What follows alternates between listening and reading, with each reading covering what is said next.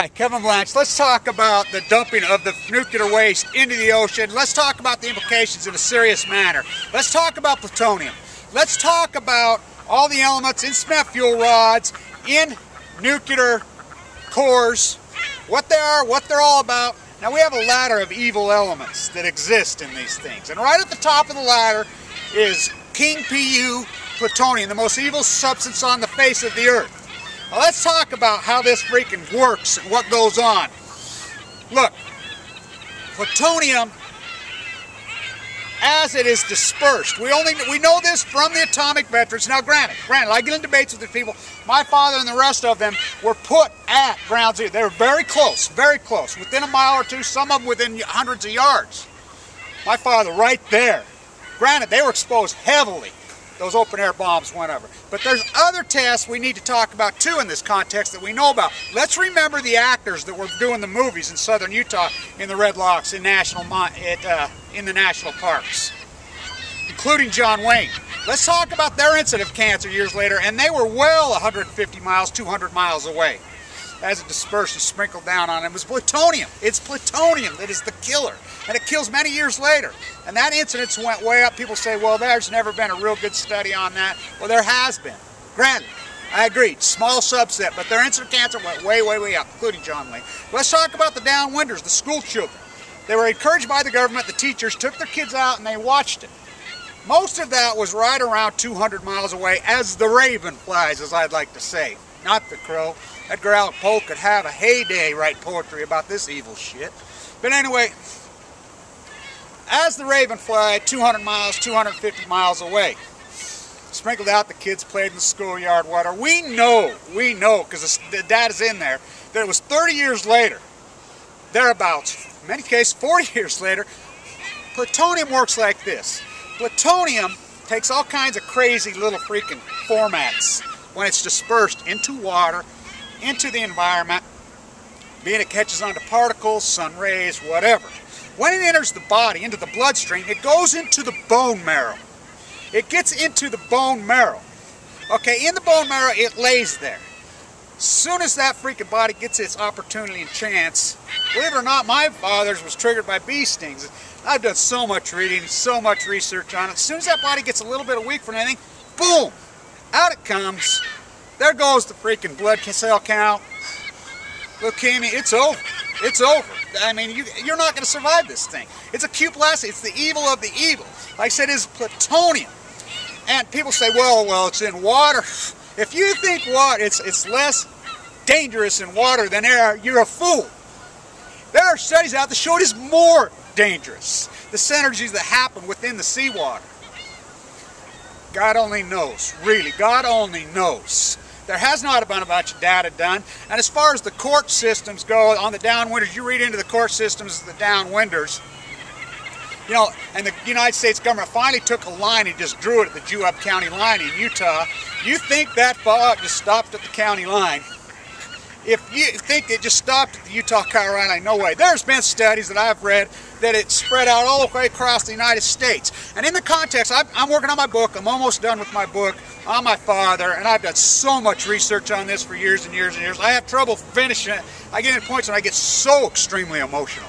I mean, I'm, I'm a master at turning on emotions off and on. I learned doing that as a derivative trader as a young man via the School of Hard Knocks. I've gotten so good at it, but I really, I get so extremely emotional freaking revisiting this because it, it's so hard for me, but I'm getting there. I'm almost done. But in my research, I always presume that they had their human lab rats and they took their best human lab rats, the Marines at Pendleton. And they says, okay, they're sitting there waiting. But through my research, the way I believe that it worked, and I like to say this is a documentary, not a commentary, and everything I've said on most of my videos is document. This piece is commentary, because I don't know this fact, but this is what I believe through my research. They didn't have a certain group. These are going to be the groups that go in the trenches. The call comes of Well, I know this for a fact. They would wait till the wind was blowing properly across the Utah desert. Wasn't growing towards Los Angeles, the major project. And when that when that wind shift, the call went into Pendleton. I know this for a fact. The call's going to Pendleton. Get them here. Blast going tomorrow. They would line up the dignitaries. The dignitaries would show up. You know, they would be sitting in hotel rooms in Nevada, Las Vegas, California. Get them up here. We're going to do this in two days or tomorrow. This is when we think the wind's going to be blowing here. I think whatever combat ready, they had the Marines combat ready. They would have them headed to Korea and or Vietnam, Pendleton Marines, most of them. Okay, the call would go in. They had those guys, told them they're headed to Korea, went in there, trenches. And I know this for a fact. My father was very close to the trenches. They blast. He almost died in the blast. Then they gave him iodine tablets before and after. They fed them LSD after. That is no bullshit. I know this. I've dug into this and uncovered all kinds of stuff like this. They fed him LSD. But anyway, it was the plutonium years later. You know, I always thought they took their most healthy lab rats. My father was a man with not a cavity, just I mean, just a specimen, big time specimen. But I think it was, oh, and I got to think of what Marine isn't a healthy specimen. You know, who can't go through, especially in that era.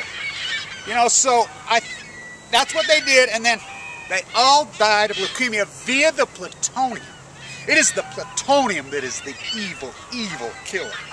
The plutonium, years later, it takes all kinds of forms.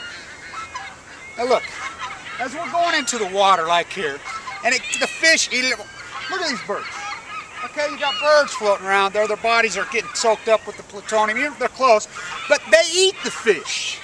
They eat, you know, the mammals eating the plankton all over. Plenty of freaking species live on plankton in the ocean. Okay, then it changes into the bird. The birds fly. You know, some of them migrate, some of them just go up and down coast, goes all over. Poof. What they go in, they shit out on the fields. They fly into the fields and as they migrate into the farmers' fields, eat the things. It's there, it's scary. It's really freaking scary. I'm a nervous wreck about the whole thing. Like I said, it's hard to get your freaking hands around any data.